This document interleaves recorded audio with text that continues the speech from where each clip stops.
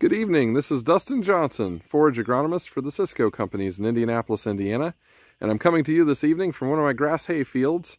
It's the first week of April 2023, and I am overseeding a, a mixture of cool season grasses and Bearcat medium red clover uh, with the hopes of thickening up this grass hay stand.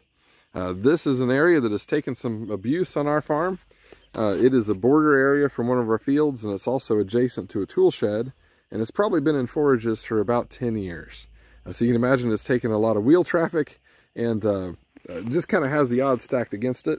And, um, and the end result is that we've got some areas that are just becoming bare.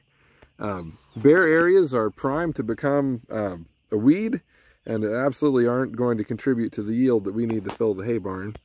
And so I've got a unique opportunity with the weather window that we're currently in to spread some seed uh, broadcast and hope that we can thicken that up.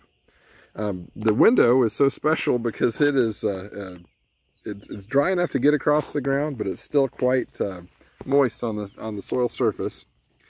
And we've got a forecast with highs only in the 50s and 60s, and in the 10-day forecast, there's about seven chances of rain. So I think it's going to stay this way for a while, hopefully long enough to get uh, uh, get these seeds germinated. They're laying on top of the ground.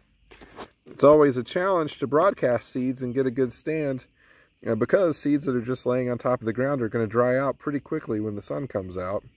And so uh, planting with a drill is usually a better method, but if you've got terrain that doesn't permit that, or it's just really wet in the time frame that you need to do it, uh, broadcasting is a good, uh, good choice. Now, the other thing special about this evening is that there's virtually no wind, and uh, those of you from central Indiana know that that doesn't happen very often.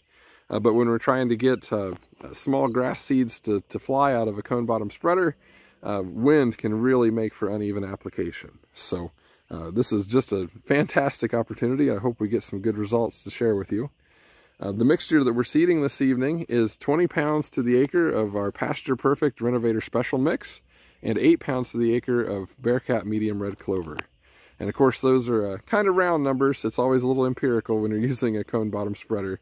Uh, but the important thing is that we get some seed on these bare areas and, uh, and get something growing to make some hay instead of a weed patch. And uh, so hopefully that all, all comes to pass. Um, the mix that I chose to use here again is the Pasture Perfect Renovator Special Mix. That's a mix of four different uh, species that are in the tall fescue and intermediate ryegrass families. We chose those because they are the highest seedling vigor uh, forages that we've got in the book. And all these seeds that are down, uh, you know, really just laying on top of the ground and getting ready to grow are going to have to compete with the grasses that are growing around them. And so we need them to get out of the ground as fast as possible and, uh, and get to growing. I would love to have some uh, some more orchard grass or brome grass in this stand, uh, but those species are pretty slow to establish and would not be a good choice for what we're doing uh, here this evening.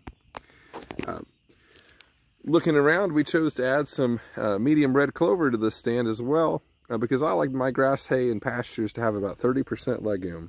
That seems to be a good level to, uh, uh, to get the most out of the growth of our cool season grasses. And it's also about right for our cattle uh, when we harvest the hay. And so most of the time, if you have a, a spot that needs more grasses, you also need more legumes. And uh, it's just a very convenient time to add some clover while we're doing it. So anyway, um, please uh, uh, please be looking at your your stands. Uh, look for bare spots. There's still time to do something about it this spring if you need to improve your your stands. And there is a second weather window coming to do this uh, in the in the months of September. Uh, and then September is a little bit drier month than uh, than April. so I strongly recommend that you use a, a no-till drill um, if you're working to improve in that time of year.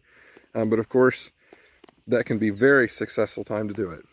Um, if you've got any questions uh, or uh, just like what you see, please give us a call. We'll be glad to help you uh, get some forages growing on your farm. And thanks for watching my video.